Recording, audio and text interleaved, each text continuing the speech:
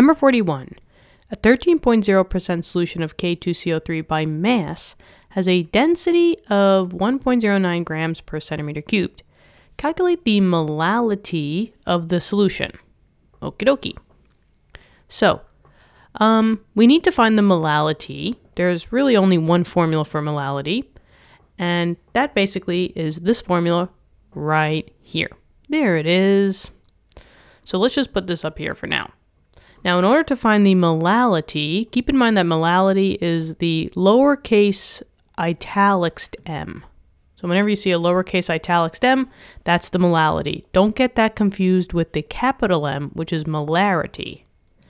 Molality is always equal to the moles of the solute divided by the kilograms of the solvent. But they only gave me a percent here, right? And it's a percent by mass. So maybe I can use this information to kind of compartmentalize how much solute and how much solvent I have. So enter now this formula, your percent mass formula. Maybe what I'll do is I'll put this one on the bottom because we're not really using it now. So percent by mass, and any percent in general, is always equal to a part divided by a whole times 100. Solute is a part of a whole entire solution.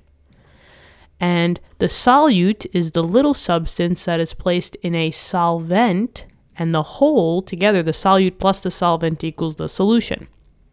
Now, they told us that we had a 13.0% by mass solution of the K2CO3.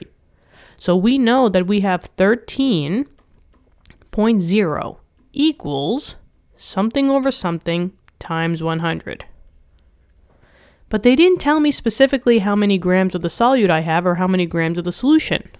But we can use our knowledge of math to get a ratio that will make sense to equal to 13. For example, this times by 100, I don't want that anymore, right? I want to cancel this out so that I can just equal to 13. And technically this 100 is over 1. So if I want to cancel out a 100, I would have to put this in the denominator because 4 divided by 4, that gets canceled. One's in the numerator, one's in the denominator. A 5 divided by 5, a divided by a, it does not matter. So in order to get this 100 out of here, I will put it on the bottom. So maybe I'll just put 100. And now that correlates with the grams of the solution because the solution is always the total. And that's how the 100 will cancel out with the 100. But if I'm left with 13.0, what do you think the number would have to be on the top? Yeah, it's the only number that's not canceled, right? Because the left side of an equal sign has to be equal to the right. And that's the 13. So I have 13 grams of my solute. And maybe what I'll do is just to color code this. I have 13.0 uh, grams of the solute. Okay, we're getting somewhere because now we realized that from that percent, we have 13.0 grams of the solute and a collective 100 total grams of the solution. So let's just write that out. We have 13.0 grams of the solute and we have um, 100 grams of the solution. Now keep in mind, we still want to find out that molality. We're getting close because now we have a solute number, but we still don't have a solvent number. But if the solution is the total, and if the solute is only a little part of the solution, what would we be able to do with these numbers to find out the solvent? Yeah, we would subtract because solution always equals the solute plus the solvent. So if I have 100 grams, and I have that equal to the solute, which is 13.0, plus x. I can subtract 13 on both sides, to get my total grams of my solvent. So 100 minus 13 is 87. I have 87 grams now of my solvent. And now we have a solute number and a solvent number that we can use to find the molality. Well, let's see. For the solute, I want moles. So I can go from grams to moles. I just need to know the compound of my solute. Now keep in mind that they did say that it was a 13.0 gram, a 13.0% solution of K2CO3.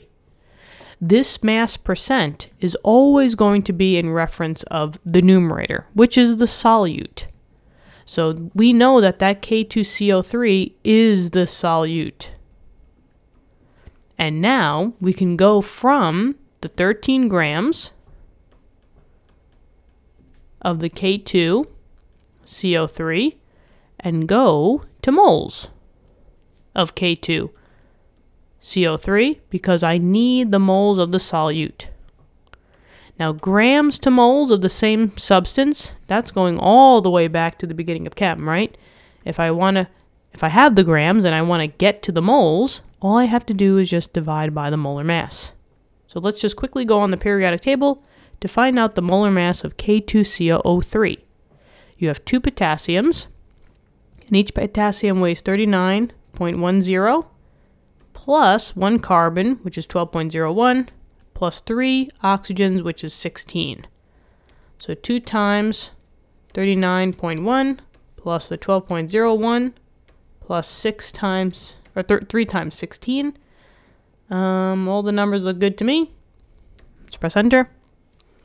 And I'm going to take my 13 grams and divide it by 138.21. So 13 divided by this number. And we get 0. 0.0, I'll give it a couple of numbers, 0 0.0941. I guess 0.6. That's good. Okay, so moles of the solute, check. Now I need the kilograms of the solvent.